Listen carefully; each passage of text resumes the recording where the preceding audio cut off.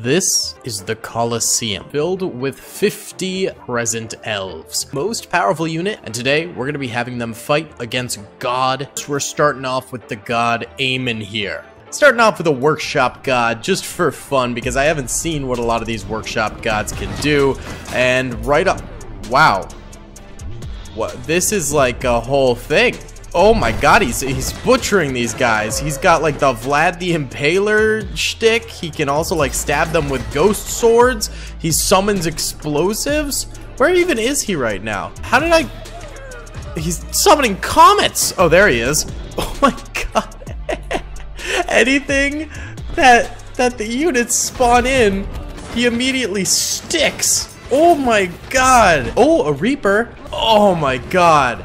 I think he multiplies like the Monkey King. Oh, look at all these present elves that are stuck in the